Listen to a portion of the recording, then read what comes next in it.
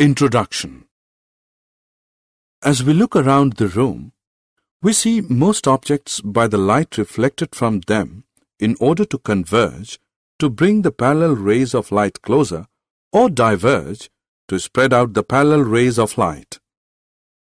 This phenomenon of converging and diverging is done by spherical mirrors. The mirrors having curve-like surfaces are known as curved mirrors.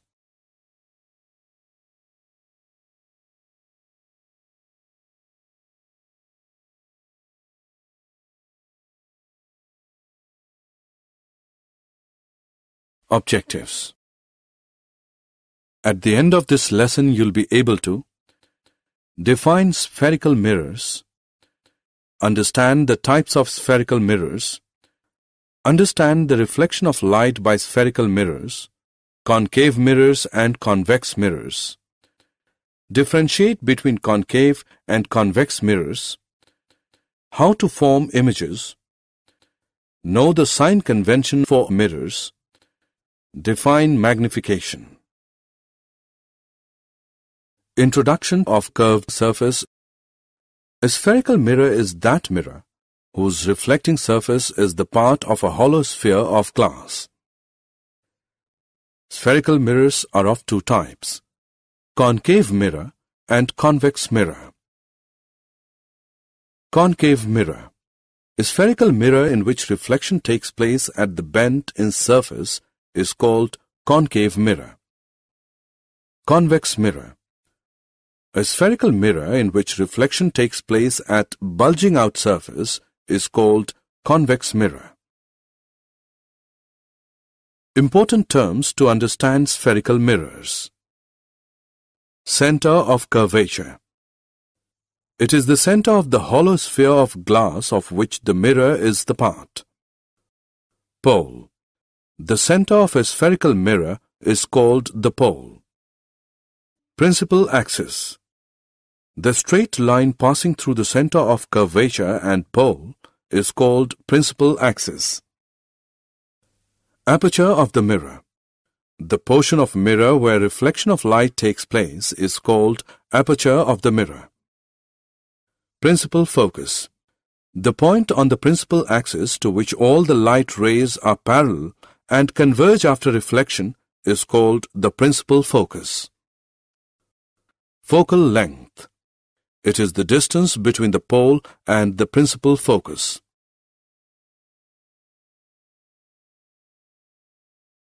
Rules for obtaining images formed by concave mirrors. Relationship between the radius of curvature and focal length is f is equal to r upon 2. Rule 1. A ray of light which is parallel to the principal axis passes through its focus and after reflection from the mirror. Rule 2. A ray of light passing through the center of curvature reflects back along the same path. Rule 3. A ray of light passing through the focus then becomes parallel to the principal axis after reflection. Rule 4. A ray of light incident at the pole is reflected back making the same angle with the principal axis.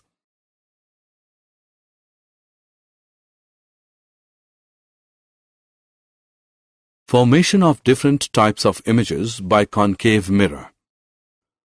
When object is placed between pole P and focus F, image is formed behind the mirror, virtual and erect, larger than the object, magnified. When object is placed at the focus F, image is formed at infinity, real and inverted, highly enlarged. When the object is placed between focus F and the center curvature C, image is formed beyond center of curvature, real and inverted, larger than the object. When object is placed at the center of curvature C, image is formed at the center of curvature C, real and inverted, same size. When object is at infinity, image is formed at focus, real and inverted, smaller than the object. Uses of concave mirror Concave mirror are used as reflectors in torches, vehicles, headlights and searchlights. Shaving mirrors to see large images of the face. Dentists to see large images of the teeth of patients.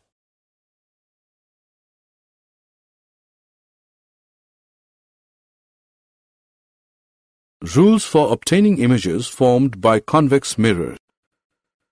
Rule 1. A ray parallel to the principal axis of a convex mirror appears to be coming from the mirror. Rule 2. A ray going towards the center of curvature of a convex mirror is reflected back along the same path. Rule 3. A ray going towards the focus of a convex mirror becomes parallel to the principal axis after reflection. Rule 4. A ray incident at the pole is reflected back making the same angle with the principal axis. Every time the image has following characteristics. The image is formed behind the mirror. It is virtual and erect smaller than the object.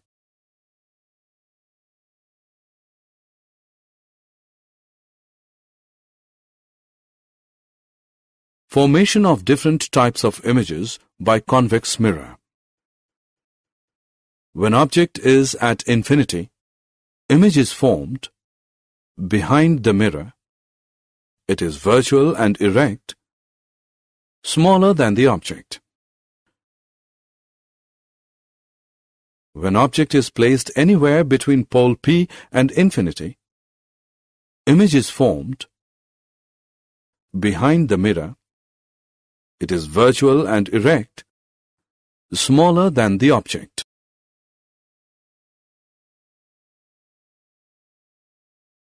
Uses of convex mirror Convex mirrors are used as rear view mirrors in vehicles to see the traffic at the rear side because it always produces erect image.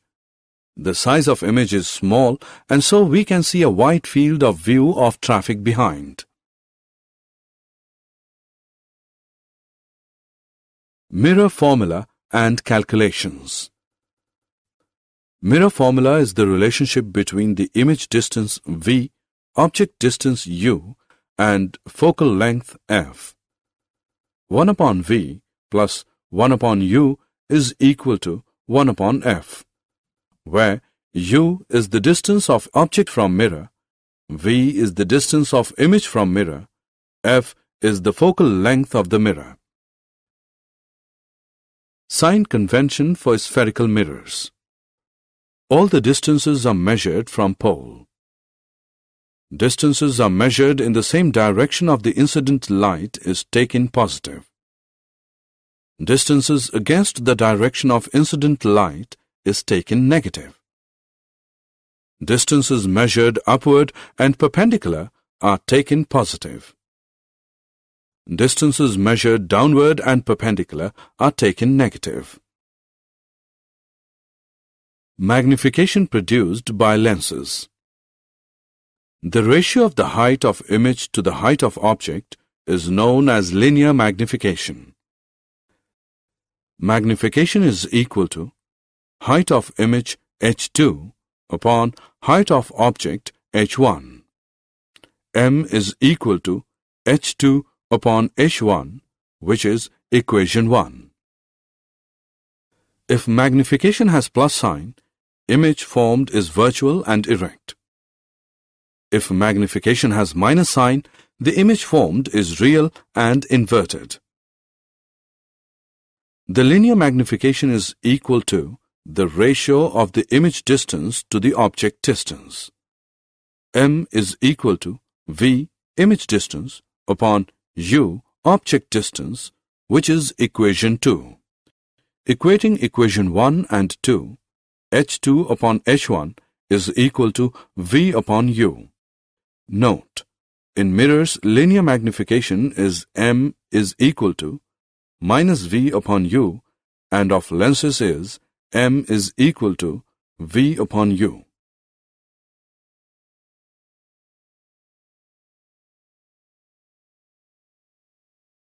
Power of lenses The power of a lens is measured by the degree of convergence or divergence of light rays falling on them. Convex lens converges the beam of light falling on it and focusing them to the optical center, it has the greater power. Concave lens diverges the beam of light falling on it and making it less strong. Power of lens the power of a lens is defined as the reciprocal of its focal length in meters. Power of lens is equal to 1 upon focal length. Important points. The power of convex lens is positive. The power of concave lens is negative.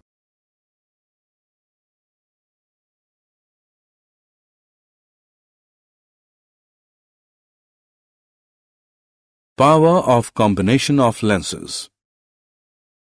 If a number of lenses are placed in close contact, then the power of the combination of lenses is equal to the algebraic sum of the powers of individual lenses.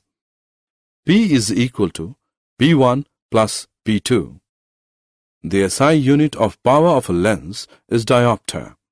It is denoted by the letter D.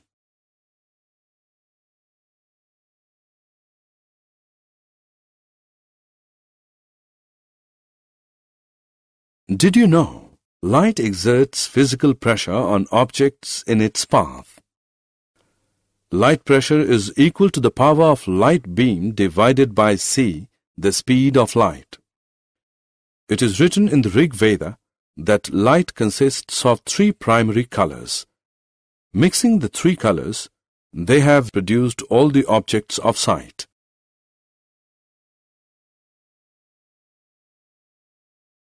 Summary Let us summarize what we have learned. In concave mirror, the reflection takes place in the bent in surface. In convex mirror, the reflection takes place from the bulging out surface.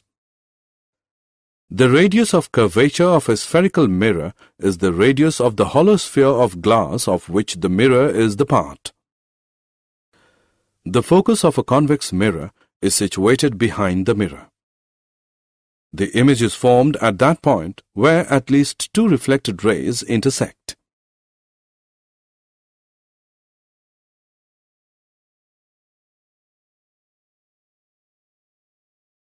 A real image is always inverted and virtual image is always erect. Large concave mirrors are used in the field of solar energy to focus sun's rays for heating solar furnaces. The object distance u is always negative in mirrors. A medium in which the speed of light is more is known as optically rarer medium.